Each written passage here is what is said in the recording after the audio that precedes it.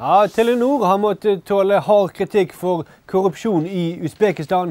Nå uttrykker selskapet fortvilelse over det de omtaler som det norske lovlighetstyranniet. Vi er på Telenors hovedkvarter i Oslo, og med vi så mener jeg meg selv og kameramannen. Det jeg først og fremst reagerer på, er dette lovlighetstyranniet. Det rir Norge som en mare. Og vi blir framstilt som fæle folk bare fordi vi bryter loven. Hun mener kravene fra den norske rettsstatssiden gjør det nærmest umulig å drive i utlandet. Hvordan skal vi da få drevet forretning i kriminelle markeder? Hun får støtte av en mann som har vært mye i utlandet, og bare må le av den norske mentaliteten. Nei, det er jo så naivt, da, vet du. Ja, jeg, jeg må jo bare begynne å le. ja, nei, folk fra Norge, forretningsfolk i bitte lille Norge, kommer til utlandet og We want to do business with you, but you have to do it by the law. Hæ?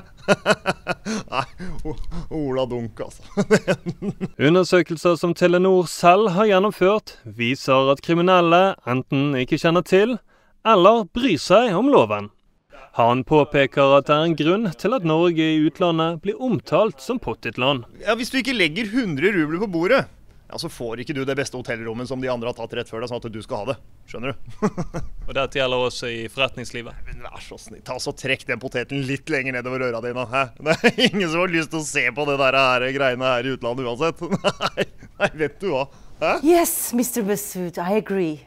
Yes, friendship is very important. Tilbake på Fornebu er utenlandsavdelingen i Telenor fortsatt på jobb, fordi jeg og kameramann ikke har forlatt dem ennå. Vi må jo tjene pengene der de er. Og da kan vi heller tjene veldig mye mer der nede, fremfor å tjene litt dritmye her hjemme.